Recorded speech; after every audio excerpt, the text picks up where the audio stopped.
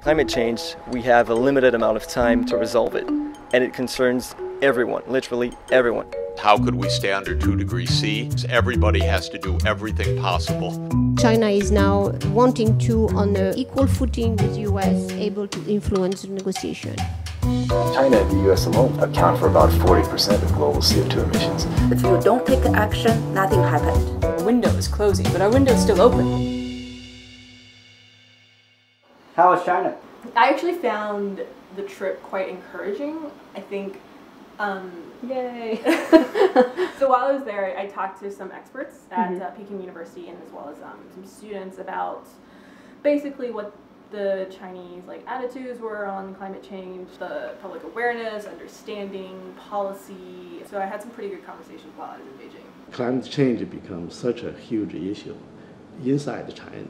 Almost all major universities have the climate change projects, policy, technology, all this debate. now more and more people realize the issue is a serious issue about solving the environment.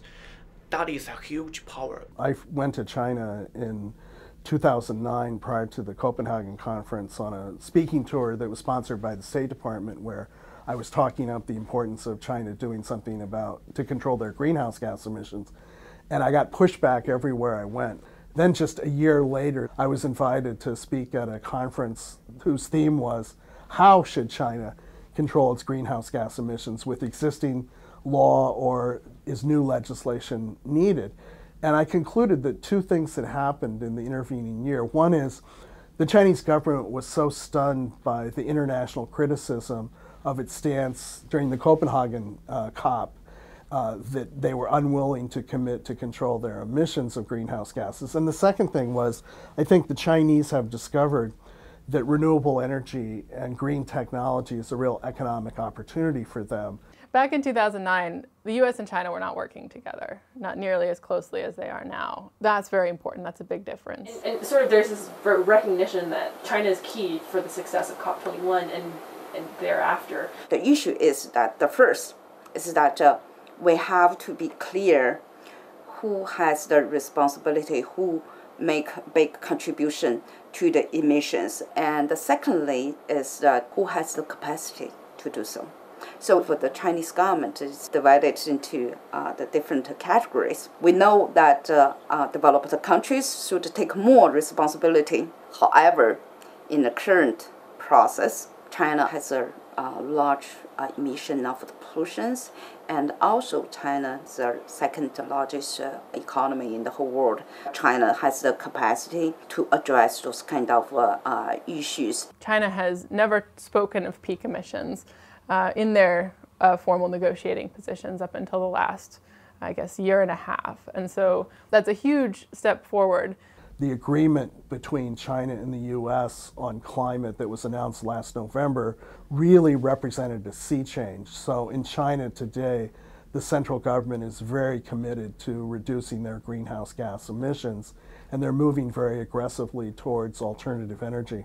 China's INDC that came out June 30th basically formalized many of the measures that China signed up to in uh, November of the previous year. In addition, they have targets for increasing the share of non fossil energy uh, in the primary energy mix to 20%. So this means a lot more solar, a lot more wind, and a lot more nuclear as well. China is already the largest user of wind and developing solar technologies so much. So green model is appearing here and there. In June, I was in Xinjiang province in far western China where they have wind farms that are so vast that it's like the distance between Baltimore and Washington.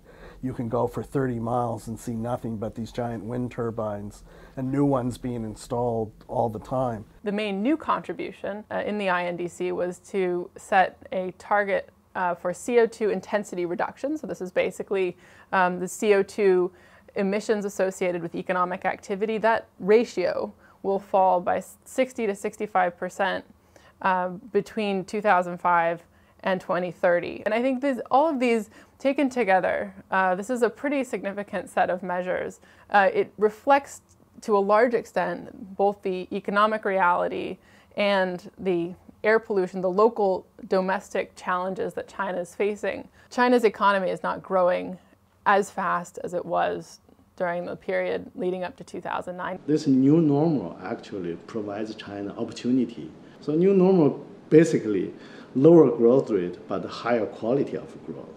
Usually we enjoy growth rate of 10%, even 15%. But now people are comfortable with, let's say, 7% growth rate. And actually it's, it's blessing for people working in environmental protection.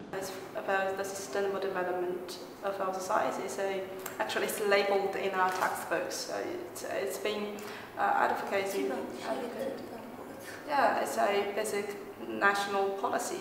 To achieve the deep reductions that China has signed up to, there will be a need for uh, stronger climate policy instruments, including the cap and trade system, which they've just announced last week um, as part of a package of policies to really address domestically the need for incentives, strong incentives at the level of industry decision makers. 嗯，因为好多人就知道，好多人知道那气候变化、全球变暖这个事情，但是其实这个给我们就给中国居民的冲击没有呃 pollution。I feel like in China, part of the reason they move so quickly is because air, like you can see the air pollution. Yeah, it's I mean- so clear. Is that Or unclear. But um, bump Like I was there for about two weeks, and there were I, don't, I think like half the time there was blue sky, and it was like pretty exciting. Is it kind of just a happy accident that air pollution is caused mainly by coal, and coal is also Yeah. the highest carbon emitter? As a singular issue, air pollution's really captured like everyone's attention.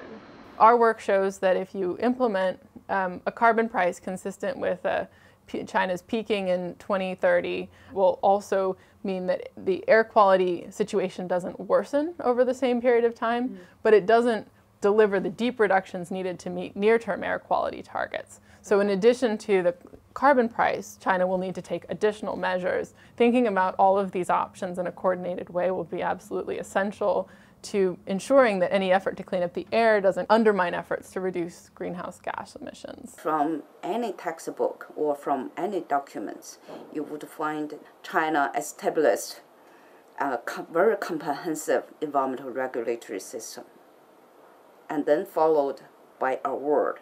However, enforcement, implementation is in question. I think the weakest link in China's environmental protection chain is local government. Central government makes policy. Local government is supposed to implement policy. Like, what's the relationship? Is it similar to the federal government and states in terms of Yeah, central they have and the? Chinese provinces. Yeah, uh, but it's not. It's much more decentralized legally in China than it is in the United States. I read the U.S. environmental law cases. I see many states together suing another state or government. Um, this is really interesting. I, I, I can never imagine several provinces in China suing another province. But the National Development and Reform Commission is the most powerful government agency that gets to decide about major infrastructure projects. And they're now under great pressure to move towards renewable energy. I think China's uh, position is quite clear. The first, climate change is uh, something that China really care. The second is uh, to link the climate change and energy and air pollution and water pollution is one of the way for China to deal with the long term of the sustainable development. And thirdly, I think that uh, China believe itself has to play uh, a very active role in the uh, global efforts to deal with not only climate change but also other environmental uh, related uh, matters. So China is working with different UN agencies on sustainable development, and the concept of sustainability is very much in their uh, 13th five-year plan, which is going to cover the next um, five years of China's development. So From 2015? Or yeah, to, Oh, to okay. 2020. So, I mean, it sounds like they're going to be helpful at COP21. If I mean, I mean, it sounds like they're on board. China is the largest emitter of the CO2, the US second. So without these two countries commit uh, something uh, in Paris COP21, nothing could happen. So I feel optimistic. And so, what is so with the their INDC and that they're putting a national cap and trade plan in place? What does that mean for Paris? China will do something remarkable if it implements its INDCs. It will have achieved a leveling off in CO2 emissions at a lower per capita income level than any other country, particularly compared to the US and Europe. And I think that sets a real example for other developing nations. Every COPs, China, Chinese government will come up with something new. Because of there's this internal progresses, technology, economic structure, all these policy changes in favor of uh, uh, greener growth we have uh, another fancy word that is global village. So now environment issues is really a global issues. So not any single country can do that on their own. Whether China can move to the right direction, not only important for China, has a lot of implications on the whole world, which direction of the world is going to move. So we have to work together. I think you will hear better news from China in near future.